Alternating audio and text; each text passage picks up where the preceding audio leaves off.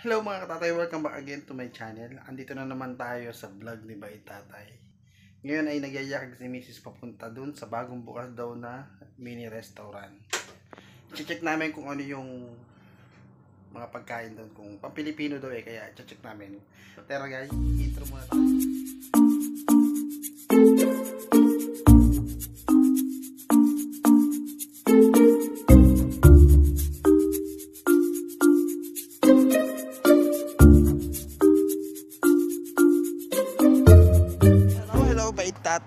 Again, here in my vlog.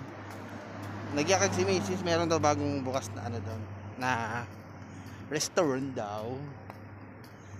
Titingnan namin kung maganda.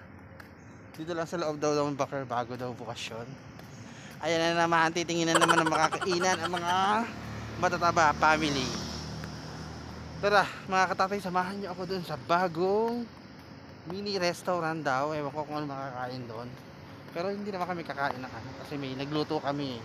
Titingnan lang namin habang iniintay namin yung aming dalagita. Okay, tara.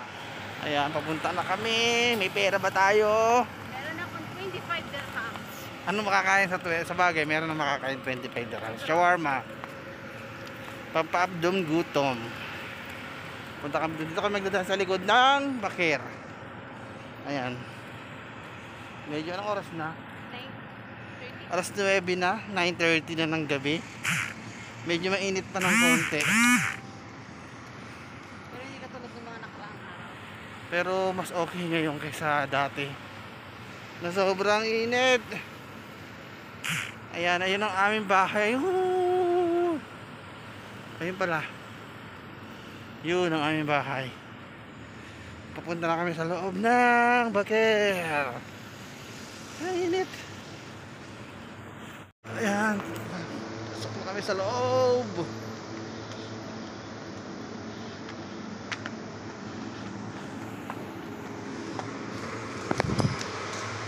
Daming tao. Kami sa loob.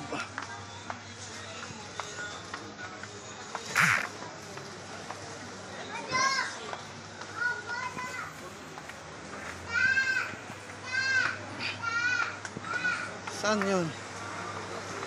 Dito? Wala eh. Ah, sarado. Doon sa labas pala. Sa labas tayo dadaan.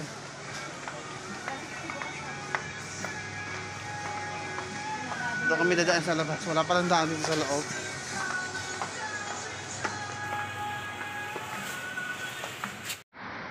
Andito na kami. Puro Diyos naman pala yung tinda dyan eh. Bawal. Kasi. Ha? Ay, may ulam. May sisig.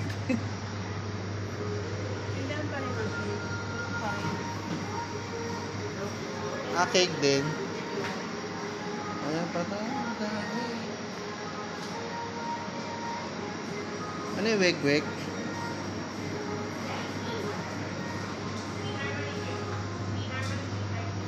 Parang ang sarap naman ito.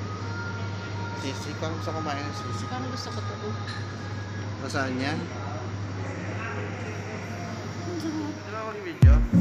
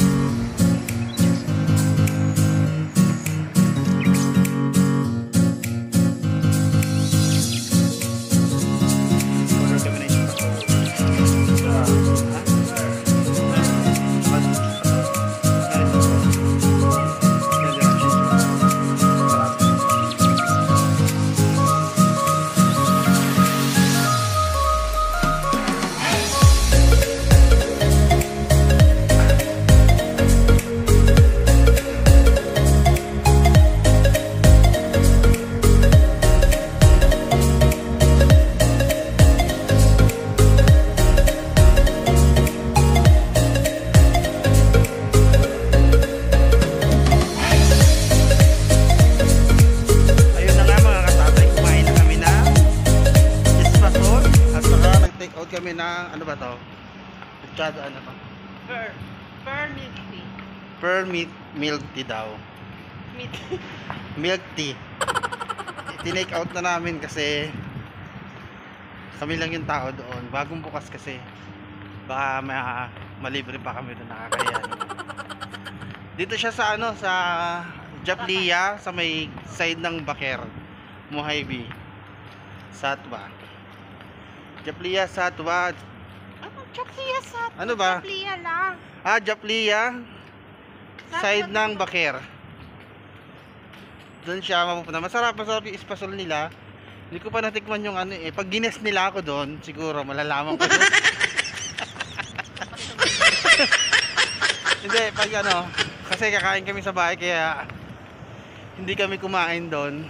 Bumili lang kami ng espasol yun lang, tinikman lang na yung espasol masarap. Parang espasol Los Baños din.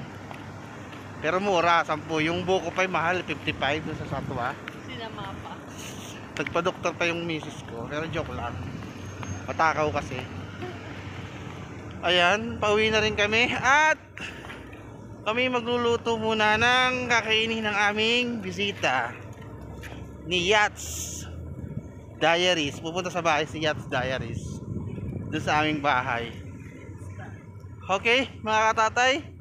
See you again to my next vlog. Bye-bye and God bless.